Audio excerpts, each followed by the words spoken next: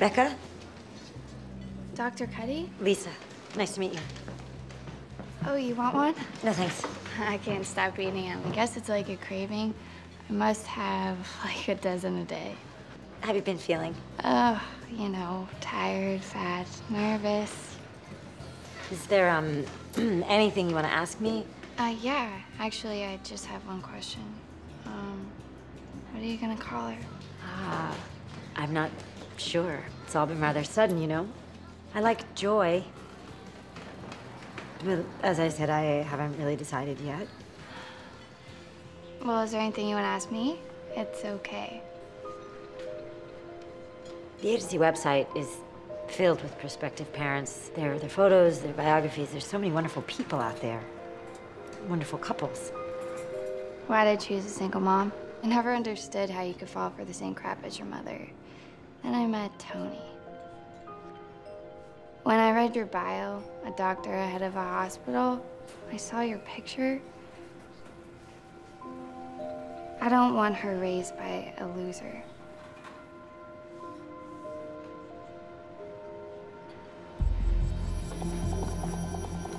How long have you had that rash? I don't know, a few days? Have you had any joint pain? Yeah, I'm pregnant. All my joints hurt. They shouldn't all hurt. Have you been using? Not in seven months. Not since I found out I was pregnant. Well, that needs to be checked out. Blood works normal. Test it again. Tested it twice. i Get you some topical cream for that rash. I'm admitting her. There's nothing wrong with her. There are dozens of other things this rash could indicate. I want a full fetal workup. You're losing it. That's what happens when you have kids. Ceaseless crying and nagging leads to irrational fears. It's impressive that she didn't wait for the actual crying and nagging. She had a lace pattern rash, joint pain, and a history of drug abuse. You would have done exactly the same thing. Huh? And I'd be an excellent father. Hey, what are you doing? Baby barf. Maternity ward was handing out free samples. Well played, sir. You leave me no choice but to change. My clothes, not my That's mind. exactly my point. It's not gonna be me and a cup. It's gonna be eight times a day. If you can't handle wearing that stain, you can't handle a baby. Why do you even care? It's not like I'm ever gonna ask you to babysit. I'm a humanitarian. The mother had a stage two placental abruption. She's losing blood. So deliver the baby. Lungs are 10 weeks premature.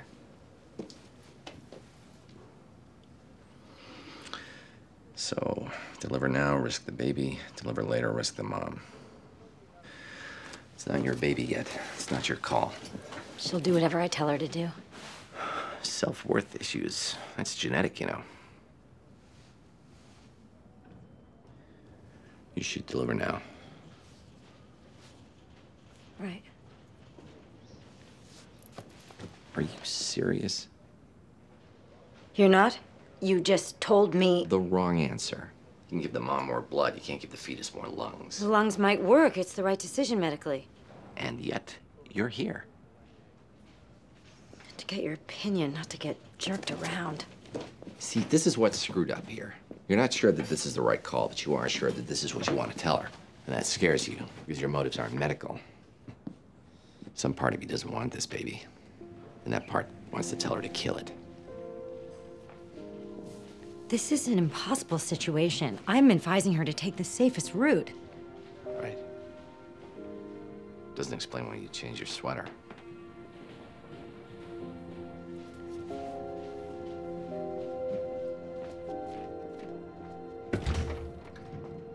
I think. I think you should wait. But if I wait, I could die. There would be more danger for you, but Is this your opinion as a doctor or as a mother? it's my medical opinion. It's my personal opinion. I don't know. I don't want to wait.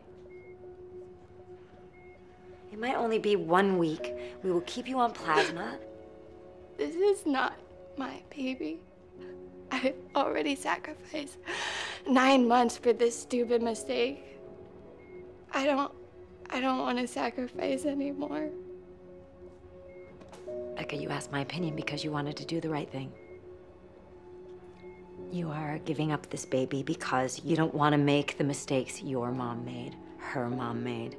You have a chance to, to break this cycle, to do something great for this baby.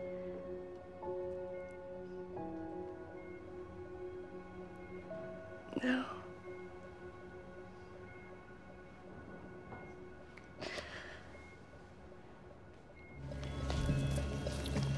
Clamp.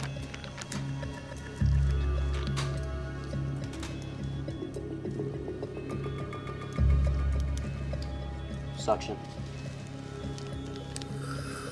Entering the abdominal cavity. There's the head.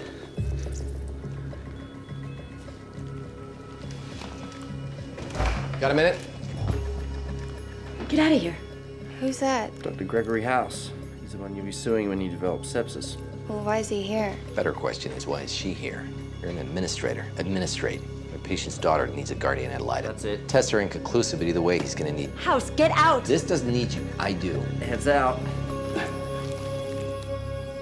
Later. Later's too late. And there she is. Come on, cry.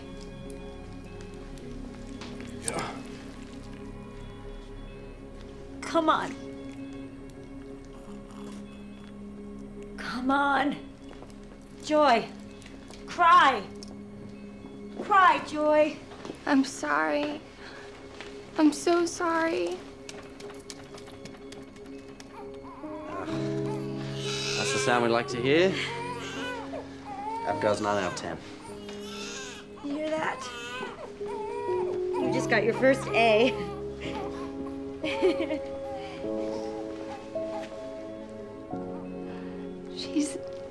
yours now.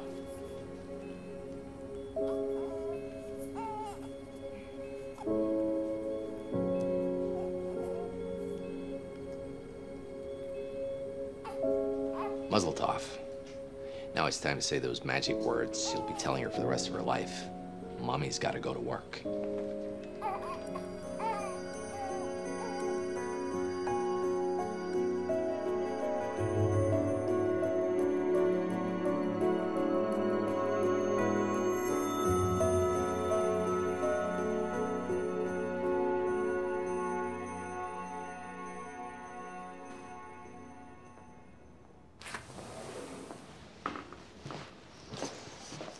Baby's doing great. I. I can't imagine how hard this must be for you. I was, I was stupid and, and selfish. You were scared. Yeah, but you wouldn't have been. That's not true. Well, I mean, you would have been scared, but you would have done the right thing anyway. And I want to be like that. I don't. I don't want to be a loser. You're not a loser. When I saw you hold her and the look on your face, it was the most beautiful thing I've ever seen. And that's when I realized I can't.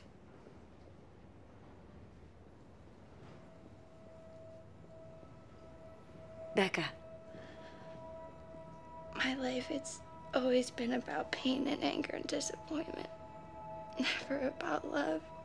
And that's when I realized, you know, it could be. And I can't get that away. Becca, don't do this.